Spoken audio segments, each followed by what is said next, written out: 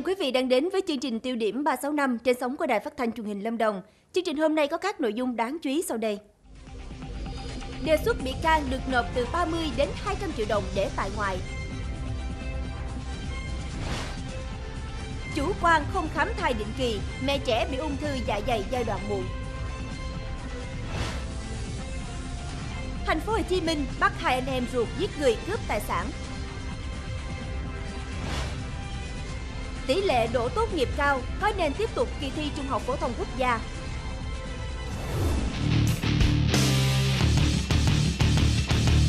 Mở đầu chương trình là thông tin về dự thảo mới nhất thông tư liên tịch quy định tại Điều 122 Bộ Luật Tố Tụng Hình sự năm 2015. Cơ quan điều tra, Viện Kiểm sát, Tòa án sẽ quyết định mức tiền đối với các bị can, bị cáo để đảm bảo tại ngoại tùy vào tính chất mức phạm tội của từng người.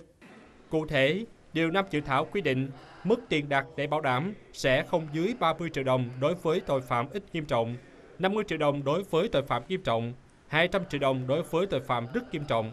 Dự thảo cũng quy định một số trường hợp đặc biệt thì cơ quan điều tra, viện kiểm soát nhân dân, tòa án nhân dân có thể quyết định mức tiền phải đặt để đảm bảo an toàn thấp hơn nhưng không dưới 1 phần 2 mức tương ứng quy định trên. Khi đặt tiền để không bị tạm giam, các bị can, bị cáo phải cam đoan có mặt theo giấy triệu tập, không bỏ trốn hoặc tiếp tục phạm tội, không mua chuộc, cưỡng ép, xúi dục người khác khai báo gian dối, không đe dọa, khống chế, trả thù người làm chứng, bị hại, người tố giác tội phạm và người thân thích của những người này. Nếu thực hiện không đúng, sẽ bị tạm giam trở lại và số tiền đã đặt sẽ bị tịch thu. Dự thảo cũng quy định rõ những trường hợp không được áp dụng biện pháp đặt tiền đảm bảo để không bị tạm giam. Khoảng 2 điều 3 dự thảo quy định những trường hợp này gồm bị can, bị cáo phạm một trong các tội xâm hại an ninh quốc gia, bị can, bị cáo phạm tội đặc biệt nghiêm trọng. Thưa quý vị, hiện nay một số xe khách, xe du lịch được chủ xe mua về đã tự ý lắp đặt thêm nhiều trang thiết bị sai quy chuẩn rất dễ gây cháy nổ. Đáng báo động là các thiết bị nhằm câu khách này lại tiềm ẩn nguy cơ gây cháy nổ cao, đe dọa đến sự an toàn của hành khách. Không khó để bắt gặp trang thiết bị trên xe khách hay xe du lịch được chủ xe tự ý lắp thêm một cách tạm bợ như thế này. Việc làm này có thể gây ra nguy hiểm mà ngay cả chủ xe cũng không thể lường trước được. Cái việc mà lắp thêm những cái thiết bị điện này là tiềm ẩn rất là nguyên nhân rất là lớn đến gây cháy xe để mất an toàn trong quá trình lưu thông. Nhưng đáng buồn thay, hầu hết sự cẩu thả này lại không hề bị xử lý. Theo các chủ xe khách, chỉ khi đi đăng kiểm họ mới tháo những chiếc trang thiết bị tự lắp, đăng kiểm xong họ lại lắp vào. Với thao tác đơn giản, chỉ mất vài phút tháo ra lắp vào thì việc qua mặt cơ quan đăng kiểm cũng quá dễ dàng. Ra là cái này là đăng kiểm thì là bọn em tháo ra, khi đăng kiểm xong thì là bọn em này là lắp vào để phục vụ hành khách. Công an xử lý nó thật ra là không có. Trước tình trạng trên, các ngành chức năng cần rà soát, kiểm tra kỹ lưỡng và xử lý nghiêm minh những trường hợp sai phạm, tránh những sự cố đáng tiếc có thể xảy ra. Tiếp theo là một thông tin về y tế. Thưa quý vị, ung thư dạ dày từ lâu đã là một bệnh lý hết sức nguy hiểm. Trường hợp bệnh nhân nữ 30 tuổi sau đây là một ca bệnh điển hình vì trong 3 tháng đầu thai kỳ, dù nôn ói nhiều nhưng chị vẫn nghĩ đó là triệu chứng ngén thông thường và không đi khám nên đã dẫn đến hậu quả khôn lường. Bệnh nhân nữ trên trú tại Gia Lai vừa lập gia đình được khoảng 8 tháng và mang trong mình thai nhi được 27 tuần. Trong 3 tháng đầu có thai, chị nôn ói rất nhiều và sụt gần 3 kg. Tuy nhiên gia đình lại không đi khám vì cứ nghĩ đây chỉ là triệu chứng ngén thông thường. Đến tuần thứ 27, nhận thấy vẫn không thuyên giảm và sụt cân nặng, chị quyết định đến gặp bác sĩ. Sau khi được bác sĩ thăm khám và nội soi dạ dày, thì phát hiện chị bị mắc ung thư dạ dày giai đoạn muộn. Cũng hơi chủ quan rồi đó mà không có nhận biết được cái dấu hiệu sớm. À, để chẩn đoán sớm thực ra là khi mà cô này đến đại học y dược là ở giai đoạn cuối rồi giai đoạn coi như là giai đoạn ung thư giai đoạn 4 là đã ăn hết toàn bộ dạ dày và đã di căn qua những cái cơ quan lân cận khác nữa rồi à, qua qua gan qua tụy rồi đến vòng hoành à, và rất nhiều hạch ở trong ổ bụng theo lời người nhà bệnh nhân, lúc nhập viện, chị bị suy kiệt và thai chi bị suy dinh dưỡng nặng. Đến tuần 31, bệnh nhân có dấu hiệu xuất huyết tiêu hóa rất nặng, em bé chỉ được 1,5 kg. Các bác sĩ đã hội chẩn và quyết định bộ lấy thai nhi ra trước, rồi sau đó mới tiến hành phẫu thuật dạ dày. Theo bác sĩ, các thai phụ không nên chủ quan về vấn đề tiêu hóa. Khi có dấu hiệu đôn ối, ăn không tiêu, nên đi khám ngay để điều trị. Xin được chuyển sang các thông tin đáng chú ý khác. Thưa quý vị, theo phản ánh của nhiều khách hàng, khu biệt thự Ocean View nằm ở cuối đường Trần Phú, thành phố Nha Trang, tỉnh Khánh Hòa, sát chân núi Chuột, mang danh là khu biệt thự chuẩn quốc tế. Tuy nhiên tại đây khá nhích nhác, các lô đất trống cỏ mọc ngang đầu người. Mời quý vị theo dõi ghi nhận của phóng viên chương trình. Dự án Ocean View Nha Trang được Ủy ban nhân dân tỉnh Khánh Hòa chấp thuận từ năm 2004 cho công ty trách nhiệm hữu hạn TN sang ủi hơn 7,2 hecta vùng núi Trục nằm cuối đường Trần Phú, phường Vĩnh Trường, nhìn xuống vịnh cha Trang, xây dựng khu biệt thự cao cấp để bán. Tuy nhiên đến nay, tại khu biệt thự cao cấp này vẫn còn nhiều lô đất bị hoang, cỏ một um tùm. Những sườn núi đã bị xẻ để làm biệt thự cũng được che chắn rất thô sơ. Vách núi lộ thiên nham nhở, nếu có mưa to, nước từ trên núi có thể chảy xuống cuốn theo đá rơi vào nhà dân. Người dân sinh sống ở đây cho biết đã có đề nghị chủ đầu tư thực hiện biện pháp bảo đảm an toàn nhưng vẫn chưa được xử lý tình trạng trên. Ngoài ra, người dân cho biết thêm, công ty TD còn bán một lô đất cho nhiều người hoặc đất đang thế chấp cũng đem bán, khiến cho những khách hàng của công ty này vô cùng hoang mang. Người mua đất không thể làm giấy tờ chuyển đổi sở hữu đất đai từ người này cho người mua khác vì các sai phạm của chủ dự án. Thưa quý vị, trong thời gian gần đây trên địa bàn huyện Sơn Tây, tỉnh Quảng Ngãi, tình trạng khai thác sâm câu một cách ồ ạt làm cho nguồn dược liệu quý này dần cạn kiệt. Trước thực trạng này, huyện Sơn Tây đang tập trung tuyên truyền để người dân bảo vệ cây sâm câu, đồng thời định hướng phát triển loại dược liệu này trong thời gian tới. Những năm trước, người dân ở miền núi Sơn Tây chỉ lên gần chân núi là có thể khai thác được nhiều sâm cao. Nhưng hiện nay, việc tìm cây sâm cao là rất khó khăn. Như vợ chồng anh Đinh Văn Tính ở xã Sơn Dung, Sơn Tây, đi cả buổi sáng cũng chỉ đào được một cây sâm cao với bộ rễ còn quá non. Hồi xưa trên này sâm cao nó nhiều lắm, bởi vì họ đi đào nhiều mà bây giờ nó hết rồi. Còn mấy cây cây nhỏ thôi, cây lớn rồi đi đào hết.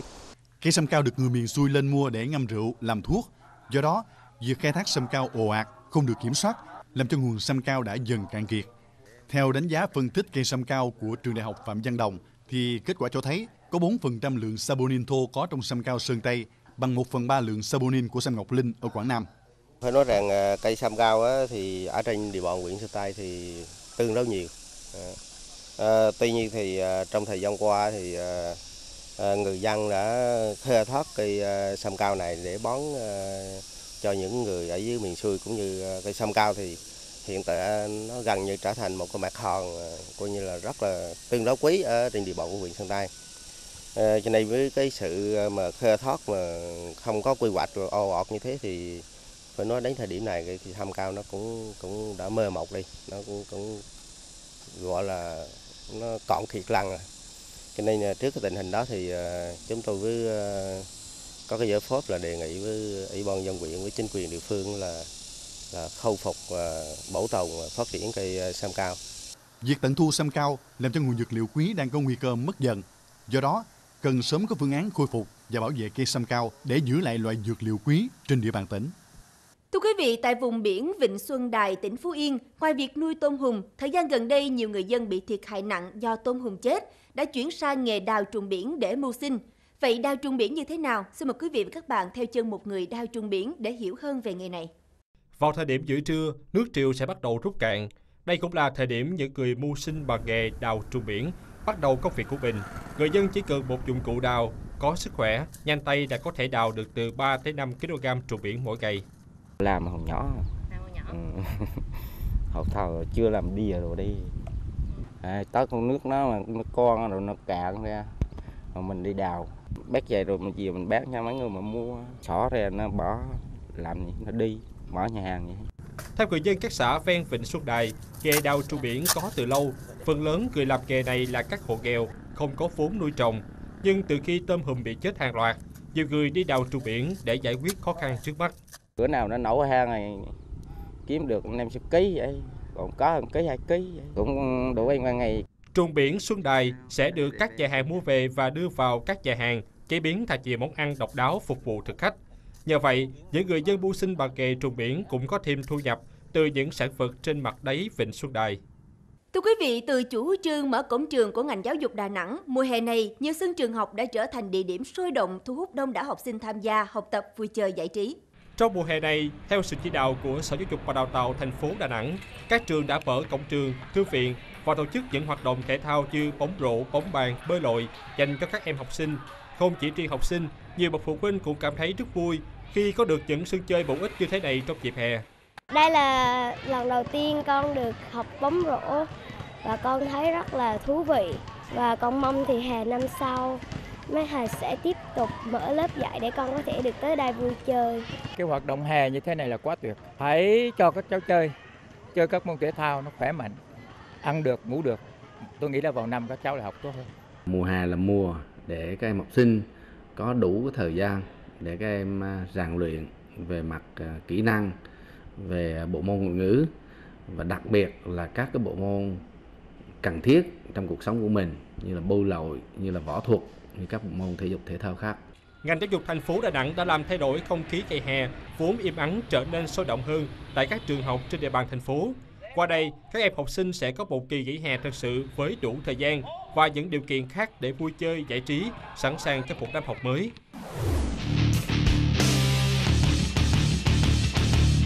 Theo chương trình là phần tin về an ninh trật tự. Thưa quý vị, sáng ngày 18 tháng 7, đội 9 thuộc phòng cảnh sát điều tra tội phạm về trật tự xã hội công an thành phố Hồ Chí Minh BC45 phối hợp cùng công an huyện Bình Chánh và công an huyện Phú Quốc tỉnh Kiên Giang đã bắt giữ hai đối tượng là anh em ruột về hành vi giết người cướp tài sản.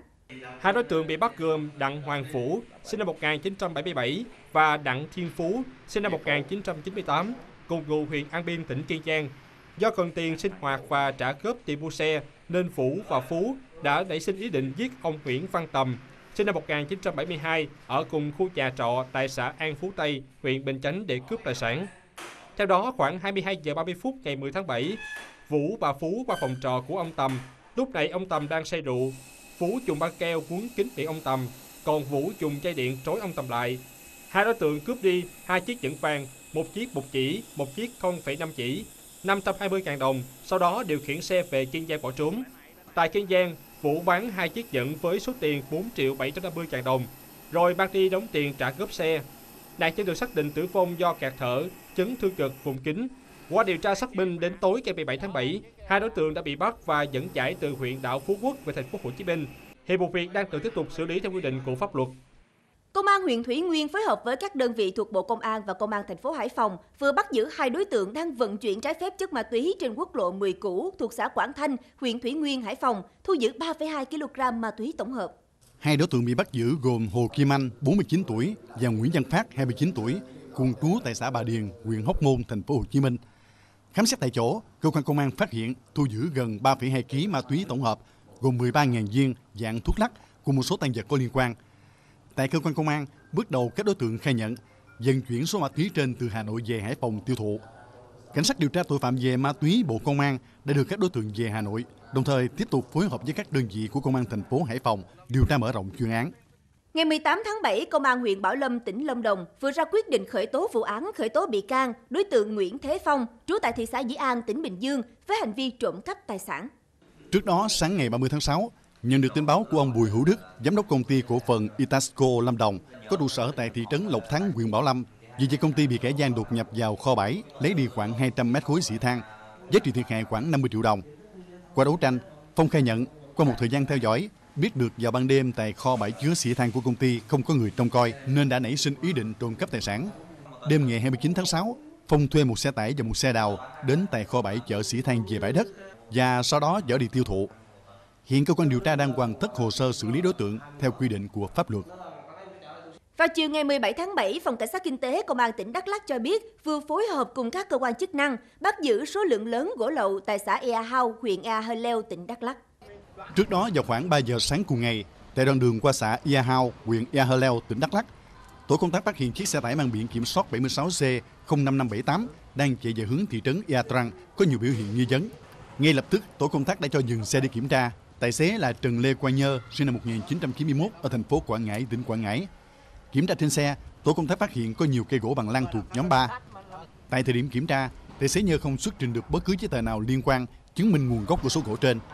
Tài xế Nhơ cũng cho biết đã hợp đồng nhận vận chuyển số gỗ này cho một người chưa rõ danh tính về thị trấn Ea Trăng, huyện Ea Hơ Leo.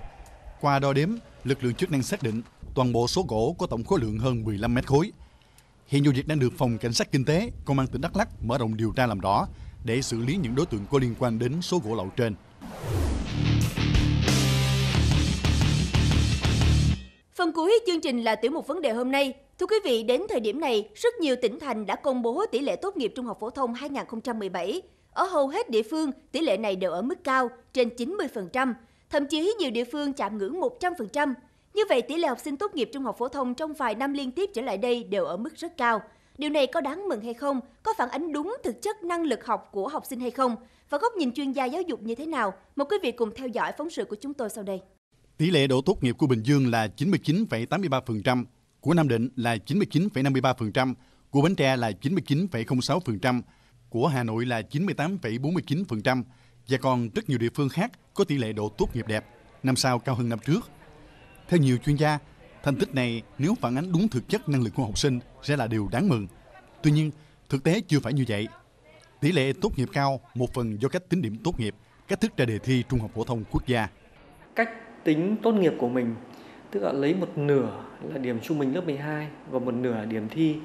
Tính điểm như vậy vào với cách thi trắc nghiệm như thế thì một học sinh có thể là không cần đạt mức trung bình thì cũng tốt nghiệp được bởi vì cái, cái, cái điểm trung bình lớp 12 à, nằm trong tay các thầy cô giáo rồi nằm trong tay của nhà trường rồi. Còn theo tiến sĩ Lê giới Khuyến nhìn vào những nước còn tổ chức kỳ thi tốt nghiệp trung học phổ thông cũng ít nước nào có tỷ lệ độ tốt nghiệp cao như Việt Nam. Ở Pháp tỷ lệ này chỉ rơi vào trên dưới 70% thực tế có một số nước trên thế giới đã bỏ kỳ thi tốt nghiệp trung học phổ thông. Thay vì tổ chức thi họ đánh giá kết quả học sinh sau 12 năm học căn cứ vào bảng điểm.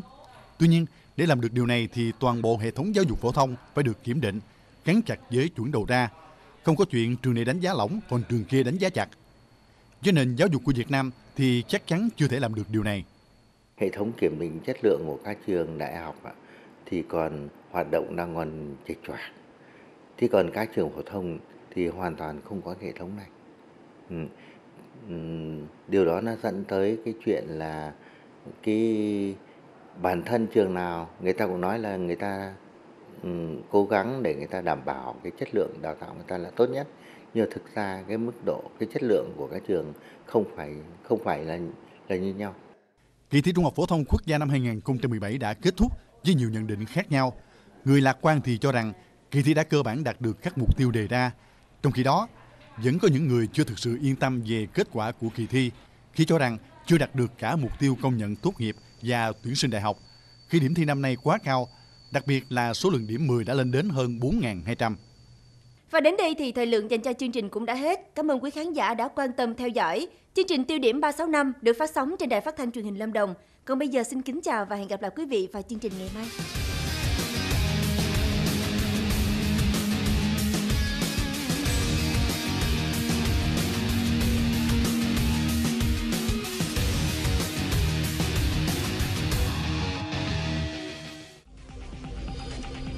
Hà Tĩnh, nguy cơ mất an toàn hồ đập do mưa lớn.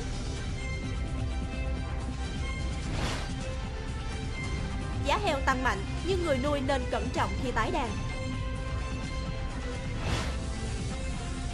Thành phố Hồ Chí Minh, hai nhóm thanh niên hỗn chiến, nhiều người bị chém trọng thương. Cần sử dụng thuốc bảo vệ thực vật đúng quy định.